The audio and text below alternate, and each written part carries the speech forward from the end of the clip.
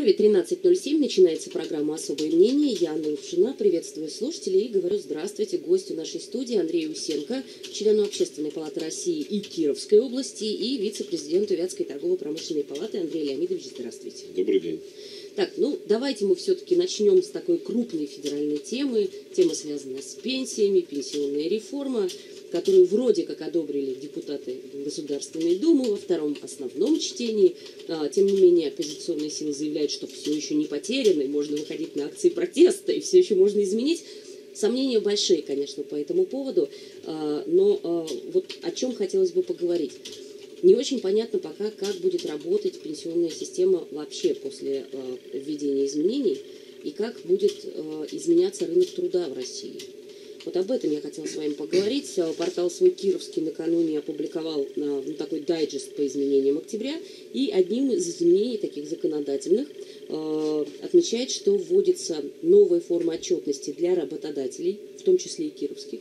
Кировские работодатели раз в квартал должны будут предоставлять в Центр занятости отчет о количестве работников предпенсионного возраста у них на предприятии Э, люди э, предпенсионного возраста, это люди, которым 5 лет до пенсии остается. Ну, пока по-старому, видимо, еще, да, а дальше с увеличением возможным пенсионного возраста по-новому. Вот эти вещи, они на работодателей каким-то образом будут влиять или нет? Ну, конечно, будут, потому что, кроме этого, собственно говоря, для чего вводится отчетность? Для того, чтобы иметь возможность использовать ту норму законодательства, которую Госдума недавно как раз полностью приняла. Наказание за увольнение людей предпенсионного возраста, да? Да, да, я именно об этом, поэтому государство здесь, предпринимая определенные изменения, в общем, ведет себя достаточно традиционно, возлагая э, и ответственность за эти изменения, и процедуру, собственно говоря, там, реализации этих изменений на тех, кого, кого может э, этим обязать. Да? То есть в отличие Э, нормальной, на мой взгляд, практики, когда государство само ведет некий все-таки там учет происходящего в народном хозяйстве, так скажем, да, и понимает, что происходит с его гражданами, где они работают, где они находятся, э, чем они занимаются. Государство, несмотря на все развитие современных информационных технологий, несмотря на все там огромные бюджеты, которые освоены на различные информационные системы, э, каждой структуре свои, между собой плохо контактирующие, интегрированные, государство опять же возлагает это на тех, с кого может потребовать. Очередные, Работодателя, на юридическое лицо, у которого возникает очередное обязательство заполнять какие-то отчеты, направлять их, причем э, нести ответственность как за сам отчет, если что-то вдруг там, перепутаешь, так и, собственно говоря, там, за э, ну, за статистику по этим отчетам, так скажем. Да? То есть я думаю, что если в этих отчетах будет какая-то динамика, например, отрицательная, ты в этом квартале подал, что у тебя 20 человек, а в следующем 15 или даже 19, тут начнут тебя еще и спрашивать, куда дел э, сотрудника тех, предпенсионного тех, возраста. Да, не хватает. Поэтому, конечно, вот э, сам подход, собственно говоря, меня, в общем, ну, не удивляет, потому что это традиционно происходит, но явно не способствует тому, чтобы работодатели как принято говорить, э, ощущали комфортный инвестиционно-экономический климат для своей деятельности, потому что э, все, э, все улучшения в этом смысле, когда государство там, одной рукой сейчас там, принимает решение о том, что не надо повторно там, платить пошлину за там, определенные действия, переводит э, часть взаимодействия с государством в электронный вид, и при этом там дополнительно там, формирует э, еще одни обязательства там, по заполнению анкет, отчетов, э, их направлению в соответствующую структуру, которые будут теряться, которые будут там, э, необходимо восстанавливать, отчитываться, опять же, за них отвечать. То есть я не понимаю, как в условиях там, современного информационного общества, современных информационных технологий, когда там, интернет и различные там поисковые системы, социальные сети знают про нас там больше, чем мы сами, как невозможно все-таки обеспечить там, простой учет э, деятельности там, и формата работы там, отдельно взятого гражданина. Ну, что делать? Работодателю, к сожалению, там, придется принять это, выполнять это, нести за это ответственность, но э, гражданам, ну, собственно, не, не знаю, какую пользу это принесет. Угу. А вот теперь вопрос, что будут делать вообще работодатели с сотрудниками предпенсионного возраста? Потому что э, Государственная Дума утвердила закон, да, законопроект о наказании за увольнение и непринятие на работу таких людей. Э, и многие эксперты говорят, что все будет просто. Вместо того, чтобы увольнять человека ну, в 50 там, лет или в 55 лет, да, будут увольнять раньше или не принимать на работу раньше. Ну, здесь нет универсального э, ответа на этот вопрос, потому что нет универсальных ситуаций. Есть э, компании, есть виды деятельности, на которых, э, собственно говоря, мудрые, опытные люди в возрасте работают лучше молодых. Ну, мы понимаем, что есть и уникальные специалисты, конечно, да, которые до 70 там, и дальше могут работать. Да, и которых уговаривают, остаться, не то, что, не то, что угрожают увольнением, да, а уговаривают остаться. Но это разовая история. Ну, я думаю, что это не больше разовой истории, как, как и истории, когда человека будут увольнять только потому, что у него там подходит возраст. Потому что работодатель, на мой взгляд, все-таки больше смотрит на функционал и на результативность и на эффективность сотрудника. Э, конечно, там есть объективные э, причины э, изменения, скажем так, там, компетенций человека с изменением возраста. В молодости мы там энергичны, бодры, и, но при этом у нас ветер в голове, мы особо ни о чем там не задумываемся. Э, с повышением возраста мы становимся, там, может быть, менее э, бодрыми, но при этом у нас появляется мудрость, и у нас появляется мотивация. Поэтому я думаю, и ответственность. Что, ну, соответственно, да, и ответственность. Поэтому я думаю, что здесь универсальных историй нет. Здесь работодатели будут смотреть, собственно говоря, на соответствие э, рабочего места и э, того сотрудника, который на этом рабочем месте э, находится и, выполняет свои функции, вне зависимости от возраста. Потому что если на этом рабочем месте будет 30-летний человек, но он не будет справляться со своими обязанностями, э, с ним точно так же расстанутся. И я не очень понимаю вот эту мотивацию там, ответственности за увольнение людей предпенсионного возраста. Мне кажется, ну, по моим ощущениям, это в большей степени такое психологическое, э, психологическое решение для того, чтобы показать, ну вот мы возраст поднимаем, но при этом мы э, о вас заботимся. Потому что, ну, то, о чем вы сказали, на мой взгляд, воплощение этого закона, там, да, этого ограничения ну, найдет массу... Лазейк? Ну, да, наши, на, наши люди найдут массу способов это ограничение обойти. Такая у нас достаточно перманентная игра государства с э, гражданами, там, кто хитрее. Ага. А почему не было принято никаких стимулирующих мер? То есть вот в процессе обсуждения же предлагалось разные, да, в том числе снизить социальные взносы для тех работодателей, которые сохраняют рабочие места за людьми предпенсионного возраста, как раз в отношении этих людей, да, каким-то образом стимулировать. Ну, мне, к сожалению, здесь там э, логика действий, мотивация там внутренняя законодателя федерального неизвестна, поэтому не принимал участие в этом Но эти меры, они бы лучше работали, на ваш взгляд, или хуже? А, ну, опять же, нет универсального ответа. Да? То есть это все-таки настолько неоднородная э, ситуация, настолько она в каждом конкретном случае там, своеобразна, и столько факторов на нее влияет. Плюс, ну, если вообще как бы, говорить о пенсионной системе, о том, что вот сейчас эта реформа происходит, да, я, в общем, как бы э, с большим скепсисом э, за всем этим наблюдаю, хотя вижу там очень бурное обсуждение и все, потому что вы не верите в государственную пенсию? Я не то, что не верю в государственную пенсию. Я, к сожалению, вынужден констатировать, что надеяться на государство с точки зрения стабильности принятых решений и их исполнения у меня оснований нет. А, я понимаю для себя, что вопрос 20-летней перспективы сейчас абсолютно нет смысла обсуждать. Ну, для меня лично. Потому что за эти 20 лет если мы посмотрим 20 лет назад, сколько изменений в пенсионной среде, сфере, там, пенсионной э, системе и во всех остальных произошло, и реплицируем это на, на 20 лет вперед. Я понимаю, что сейчас можем обсуждать что угодно, но за эти 20 лет изменится все.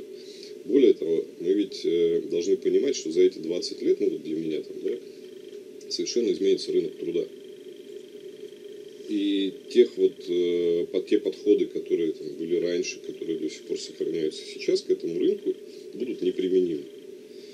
Я вообще как бы говорил о том, что э, так, определение там, работоспособного возраста универсальная для всех вот по возрасту, да, там выход на пенсию, через несколько лет, может быть, через несколько ну, десятилетий, там, да, будет совершенно неправильно. Потому что этот подход сформировался в самом начале 20 века, когда начали возникать социальные пенсии, социальные гарантии. Но когда структура занятости людей была примерно одинаковой. Структура их, собственно говоря, там, работы, сущность их работы. И было понятно, что там, примерно в одинаковом возрасте люди подходят к истощению возможности организма. Ну, условно говоря, в 60 лет очень тяжело работать ну, на вот стройке, Физиологически, да? да. И это касалось всех, всех сфер там, деятельности. А мы сейчас имеем с вами дело с экономикой, в которой э, занятость настолько разнообразна, что ты можешь быть там измотан к 40 годам, а можешь до 70 спокойно там в себе фрилансить в кресле, как бы на берегу Тихого океана, не напрягаться. Да. Ох, всем бы такой работать.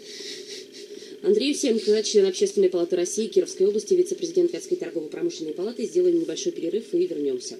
Продолжаем особое мнение Андрея Ущенко в нашей студии. Гости, я напоминаю, еще чуть-чуть о пенсиях. Накануне газета РБК напугала всех с утра а, тем, что а, формируется в России новая система а, накопительных пенсий. Будет введен так называемый индивидуальный пенсионный капитал. И те граждане, которые не скажут, куда складывать их деньги, они по умолчанию куда-то там будут отнесены, их деньги будут куда-то там складывать, а потом, не дай бог, куда-нибудь опять исчезнут, как это было с предыдущими пенсионными накоплениями. А, после, уже к вечеру, социальный блок правительства российского опроверг эту новость, сказал, что мы пока а, не утвердили окончательного даже решения. Да, и даже еще не обсуждали.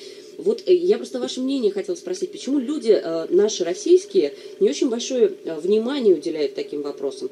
У нас ведь система накопительных пенсий уже формировалась несколько лет она формировалась, и в 2014 году, если мне память не изменяет, или в 2013, все накопительные э, взносы, которые были сделаны в негосударственные пенсионные фонды, были заморожены, и до сих пор их не вернули никому. А там не очень понятная история. У меня давно есть желание с ней поразбираться все-таки, но я, честно говоря, руки не доходят. А да? вы отчисляли, по-моему, да? Да, я угу. изначально, то есть с момента введения вот этой накопительной системы, я как раз э, осознанно там, принял решение о переводе в НПФ, более того, я потом участвовал в системе софинансирования, которую давало государство, потому что я сказал, что на тот момент там стопроцентный доход на капитал, как бы это ну, уникальная Это хороший процент. это отличный процент, я бы сказал, да. А, ну и вот я об этом говорил в первой части, когда говорил, что, собственно говоря, там, если государство на, на, там, на, на дистанции пяти лет там, столько раз все поменяло, в общем, что там за 20 лет произойдет, какой смысл обсуждать. Я не очень понимаю, что вчера всех так испугало с точки зрения того, что э, по умолчанию там куда-то будет переведено. Ну, собственно говоря, там не, не молчите, переведите. Только для меня, опять же, это там не показатель, потому что вот с накопительной частью там молчуны были в вебе, мы не молчуны там переводили в НПФ, но, собственно говоря, закончилось все у всех одинаково. У всех забрали? Ну, забрать не забрали, что-то там заморозили, и вроде как в перспективе разморозит. Ну, в общем, как бы ледниковый период в этом смысле, мне кажется, там наступил надолго, и поэтому здесь что, то есть, если ты хочешь на это обратить внимание, ты разберешься, там, примешь решение, уведомишь государство. Если ты в этом ничего не понимаешь, как бы, и не хочешь заниматься, ну, так, собственно, за тебя кто-то решит. Это работает не только в пенсии, это работает во всем. Точно так же, как мы с вами не раз там обсуждали выборы там, в этой студии. Ну, если ты там считаешь, что тебе там общем, без разницы. Ты сидишь дома. Если тебе не без разницы, ты идешь на избирательный участок. Та же самая история. Внутренняя мотивация человека на э, достижение и создание каких-либо изменений. В своей жизни. Давайте о тех кому, кому не все равно, кто не сидит дома и куда-то идет, гражданский форум надвигается очередной. Э, в конце октября он будет проходить в нашем городе. Общественная палата его организует, Общественная палата Кировской области. Э, я так понимаю, что есть уже определенные наметки, то есть мы на старте там буквально говорили с секретарем Общественной палаты Александром Галицких, но сейчас, я так понимаю, формируются уже определенные секции. Вот. Можете ли рассказать, что, где и как? Э, да, если быть точнее, то 18, 19 и 20 октября гражданский форум состоится. Пройдет он в этом году на новой площадке, новой для форума, там, и для города. Это детский космический центр. Э, удобная, хорошая площадка. Мы... Только парковаться негде. Это характеристика большинства площадок в нашем городе. Поэтому здесь она такая универсальная. Да, на данный момент у нас там до, до 5 числа э, определен срок подачи предложений в секционные заседания, но, в общем, костяк программы уже сформирован, порядка там 18, по-моему, секций запланировано. На три дня. На три дня, да, uh традиционно три дня, три потока, да, то есть э, каждый день э, там порядка от 7 до 9 секций проходит э, в параллель в три потока. А пленарное заседание, э, тематика форума в этом году добровольчество, так как год волонтера-добровольцев в России, и мы ну, традиционно так поступаем, мы выбираем основную тематику форума и стараемся, большинство, по крайней мере, там, секционных обсуждений, ну, в том числе через призму вот этой главной темы посмотреть. Да, то есть и здесь как раз вот мы э, через, через э, добровольческие очки будем смотреть на те темы, которые обсуждаем. Угу. Какие темы? Какие темы? Ну, э, Что тем, предложено сейчас? Тем секции несколько. Передо мной там сейчас программа, ее можно посмотреть на сайте. Она уже есть. Собственно говоря, угу. да, она там размещена, формируется. Есть темы э, относительно поддержки и взаимодействия с некоммерческими организациями, тема традиционная, собственно говоря, совершенствование мер поддержки. Есть темы экологические, э, там, национальный проект «Экология», то, что касается там, э, сферы твердых коммунальных отходов, там, да, и тоже того, что будет с 1 января. Есть секция итоговая по трехлетней работе рабочей группы по дорогам и ремонту. Есть секция по юридической помощи, есть секция по инициативному бюджетированию, там, по военно-патриотическому воспитанию. По урбанистике и благоустройству города есть секции? По урбанистике и благоустройству города через э, буквально там неделю после э, гражданского форума будет проходить урбанистический угу. форум, поэтому я думаю, что здесь вся активность э, в этой сфере, она Сместится. перемещена на, на, на то мероприятие. Да. Здесь у нас есть темы и по доступной среде, есть тема по массовым мероприятиям, заявлена на данный момент и э, там, рассматривается, как ее там обсудить, провести. Но должен сказать еще об одном отличии там, гражданского форума в этом году. Мы э, договорились с э, оргкомитетом года добровольчества, добровольцев и волонтеров в Кировской области, что ну, соединим наши мероприятия. У них был итоговый форум они хотели его сделать на неделю раньше. Мы предложили объединить. Поэтому по факту пройдет два больших форума. Это итоговый форум по году добровольца плюс гражданский форум. Они объединяются пленарным заседанием совместным. А потом мы расходимся по двум площадкам, что называется, мы остаемся в ДКЦ.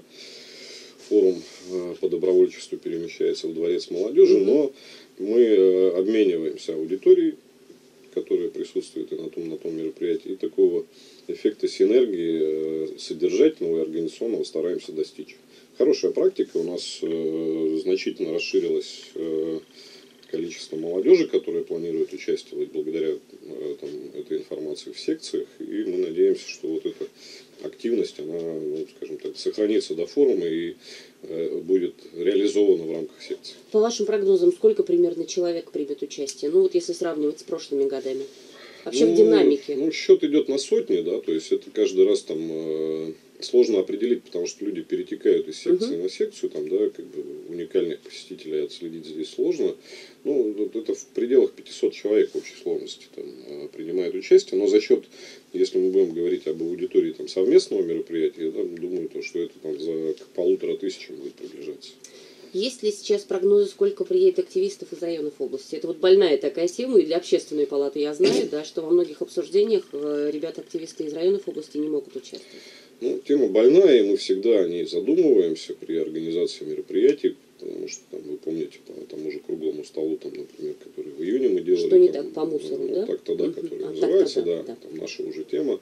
Мы специально договаривались о содействии со стороны там, администрации районов в том, чтобы обеспечить э, участие активистов здесь, и это было сделано. Э, в гражданском форуме мы стараемся это первую очередь учесть э, планирование выходного дня, субботы, чтобы угу. это было удобно, и те секции, которые затрагивают интересы районов муниципалитетов, да, ставить туда.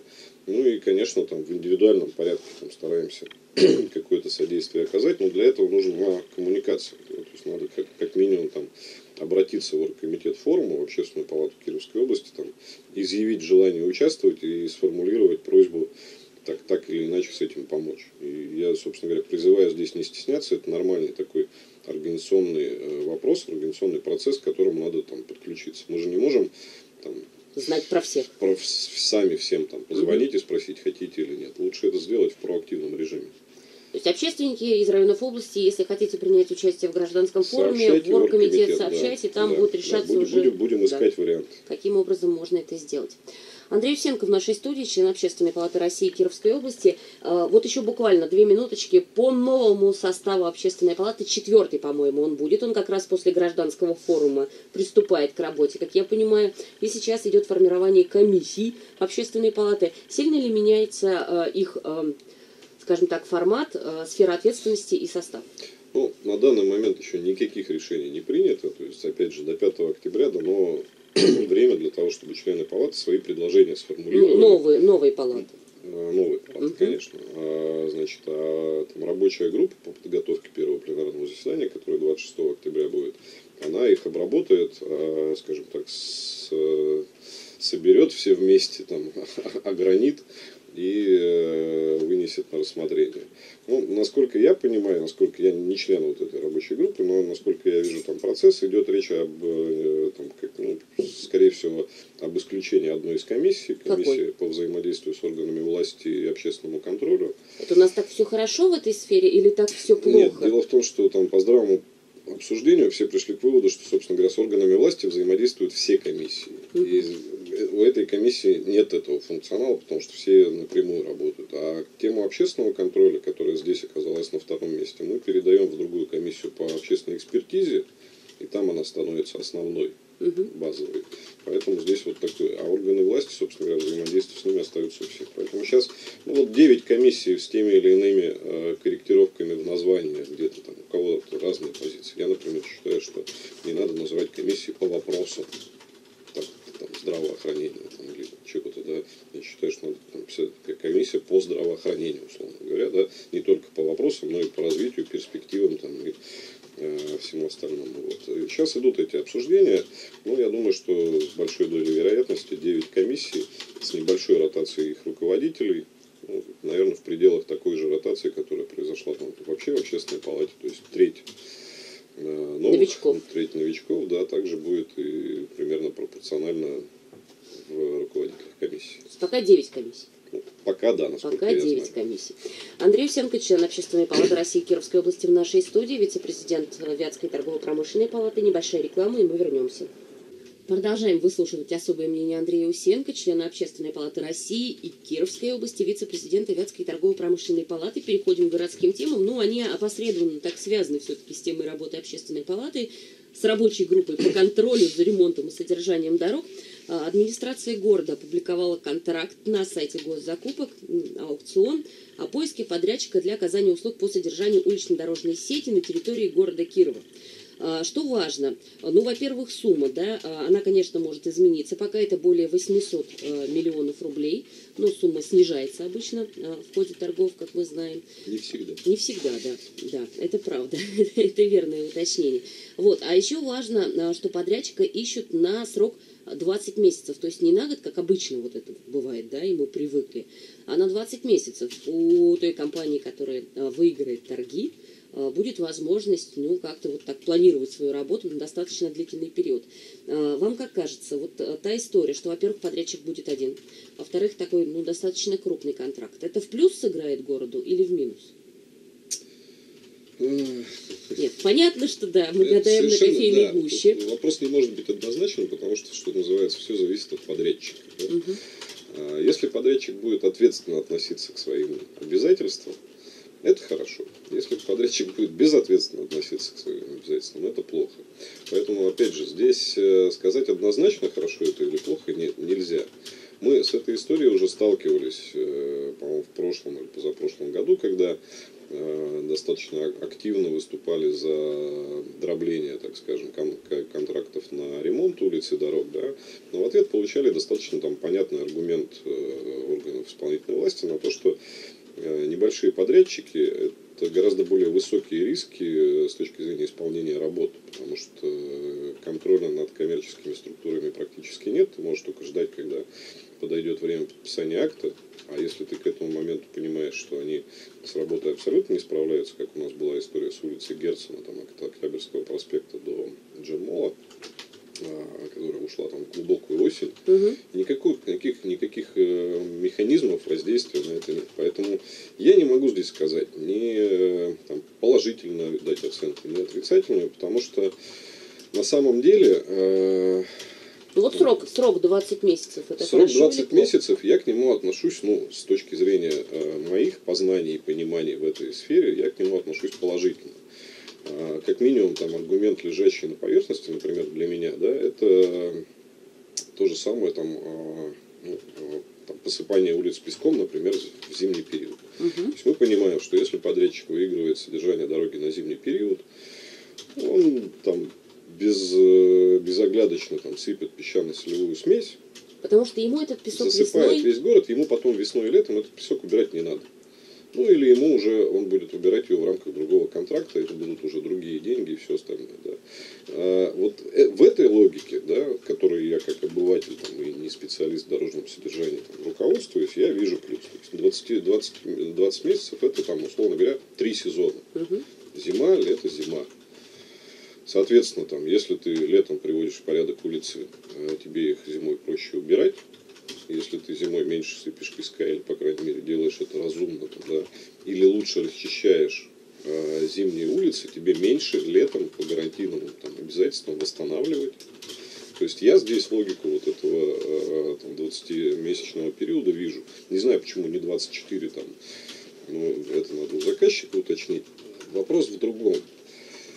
А, ну, это вопрос, в принципе, там, 94-го там, законодательства, да, закона. А, мы ведь говорим о формальной конкуренции. Это процедура конкурентная, она выносится на, там, на, на торги, на аукцион. Но при этом она э, конкурентная только формально. Потому что не все могут заявиться. Потому что не все могут заявиться, и э, учитывая то ограничение, так скажем, то требование по обеспечению, которое угу. заложено в контракт, практически там больше 200 миллионов, если не 300 там, почти, да, я насколько помню, смотрел, угу. и требования там, собственно говоря, ко всему. То есть мы понимаем, что, условно говоря, там из Нижнего Новгорода или из Перми, там, или из Москвы никто не будет заявляться. Э, ну, из Москвы, наверное, может, может и найдутся, но тогда это будет опять же речь идти как с дорогой на русское, да, о субподряде итоговом. А реальной конкуренции организации, которая владела бы техникой и всем остальным, нет, потому что никто из Нижнего не поедет содержать там полтора сезона нашей дороги в надлежащем состоянии. Поэтому, конечно, там, конкуренция достаточно эфемерная. То есть, скорее всего, речь идет о кировской компании. Ну, а какие варианты здесь? Ну, нет е- вариантов. Если, если, если это компания, которая там владеет техникой, технологиями, людьми, оборудованием, всем остальным, конечно, и суммой кировская. на залог? Ну, и суммой на залог необходимый, да. То есть, это кировская компания, потому что ей там, ну, из других городов не поедут они сами. То есть реальной конкуренции в этой сфере нет. Это плохо для бюджета, потому что, скорее всего, не удастся сэкономить. Да, понижения цены не будет, это плохо для бюджета. С другой стороны, когда это, там, опять же, э, компания с государственным участием, потом есть ведь прибыли, дивиденды, которые, собственно говоря, из нее там извлекаются. Э, поэтому здесь такой необходимо соблюдать баланс э, механизмов воздействия на эту компанию. Здесь та история, когда рынок, что называется, да, не выровняет, потому что его нет. И здесь необходимы административные механизмы воздействия на то, чтобы эта компания, э, находясь в неконкурентном пространстве, не, не превращала это неконкурентное пространство в, во вседозволенность. И, к сожалению, это, на мой взгляд, единственный как бы, способ, потому что создать здесь конкурентное пространство крайне сложно. Потому что даже раздробив там это на небольшие лоты, э, ну, надо тогда быть готовыми к тому, что нам лет 10 надо будет прожить в состоянии такого легкого, иногда нелегкого там хаоса с содержанием дорог, пока эта сфера там возникнет, э, достигнет конкурентного состояния, когда появится там 3-5 компаний, Ответственных. которые да, там, будут обладать необходимыми ресурсами и будут нести соответствующую ответственность, и тогда вот это сможет э, регулировать рынок. Если ты работаешь плохо, то другой сделает. А пока вот так, в Но приказном для, этого, для этого надо там лет на 10 э, забыть о хороших, качественных дорогах в зимний период. Ну, В общем, подождем 19 октября. На 19 октября назначено проведение аукциона. Посмотрим, кто будет содержать наши дороги. Вы упомянули перекресток Октябрьского проспекта и Герцена. Не могу не спросить. В социальных сетях с прошлой недели обсуждается это безумное безобразие, установленное на бульваре Октябрьского проспекта. Я напомню, на перекрестке Герцена Октябрьского поставили светофор, а, и часть бульвара, скажем так, да, выхода с, одно- с одной части бульвара на другую часть бульвара огородили такими а, желтыми а, металлическими конструкциями, которые очень а, Диссонирует. диссонируют, да, вот с черной чугунной оградой Октябрьского проспекта, и почему-то до сих пор не слышно людей, которые бы сказали, да мы покрасим, да не волнуйтесь, да будет все хорошо. Понятно, зачем это сделано с точки зрения ав- автомобилистов, да, чтобы люди не выскакивали на дорогу под поворачивающие машины. Вот. Но не очень понятно, почему в очередной раз вот мы ставим вот такое вот нечто прямо в центре города. Ну, я думаю, что Не, зало- не Ну, заложено было, Андрей Леонидович, в контракте Покраска. покраска желтых ограждений в черный цвет. Ну, наверное. Но- но на самом деле я в первую очередь, наверное, скажу, что, ну, наверное, не хватает нам всем там, э, некого там комментария по этому поводу со стороны там, администрации города, да, с объяснением, аргументацией и э, ну, пониманием того, что дальше будет с этим происходить. Услышали, не услышали, там, покрасим, не покрасим. да. То, есть, ну, э, то, то, что мы э, с вами привыкли видеть по ну, там, на федеральном уровне в большинстве случаев, да, когда там, если действие было произведено без особых объяснений, спустя какое-то время появляется комментарий, что сделали потому-то, если вы сами не поняли, то мы вам объясним, значит, ну и раз вас это не устраивает, то мы это там вот так-то исправим, да, то есть вот, вот такого объяснения не хватает, потому что, еще раз повторюсь, мы с вами исходим вот из таких обывательских представлений. Я не исключаю, что там э, вы позовете завтра там в студию специалиста в дорожном содержании, он в пух и прах либо раскритикует там это, да, понимая, что за этим скрывается, либо там, однозначно одобрит. А мы можем только вот из этого исходить. Я исхожу из ощущения обывательских в данном случае. Я понимаю, зачем поставили. Вот, на мой взгляд, да, Мы все понимаем, зачем поставили. Мы не понимаем, почему такое. А, ну, а какое было, такое и поставили. Как это? Ну вот, а как? А другое а какое-нибудь? другого никакого нет. А вы знаете, например, почему в свое время сняли на всех вот этих перекрестках Октябрьского проспекта с э, перпендикулярными улицами Часть чугунной ограды. час чугунной Потому ограды? что там складировали сугробы, которые мешали видеть пешеходов. А, даже без сугробов. Вот вы сейчас в летний период поедете, там, где она есть, она закрывает абсолютно, сливаясь для автомобилиста, в, она непрозрачна для него, потому что при подъезде к перекрестку она сливается в один моно- сплошной такой а, ряд, и человека не видно. Поэтому сняли для того, чтобы как раз э, автомобилисты могли видеть. Я не знаю, э, честно говоря, когда проезжал э, с тех пор один раз только, не обращал внимания, как бы, как в этом смысле работают вот эти ограждения, сливаются ли они так же, позволяют они видеть. Но э, мне кажется, что это тоже там аспект, на который, ну, не знаю, обратили ли внимание. Потому что с тех пор, как сняли предыдущее ограждение, да, там много времени прошло, и много людей уже там изменилось, учли ли это, не знаю. Поэтому здесь, э, ну, э, однозначно, на мой взгляд, там э, диссонанс эстетики там э, чугунных заборов и обычных там Металлических профиль, да, профильных там ограждений, как бы он налицо. А, есть ли у этого э, вопроса другие решения? М? Уверен, что есть, но не уверен, что их рассматривали. А, если там говорить о безопасности, то, конечно, это самый простой способ. Ну, тогда надо вообще все как бы вот, э, скажем так, разграничить вообще потоки там, людей и автомобилей, да, и всех заставить двигаться там, вдоль заборов.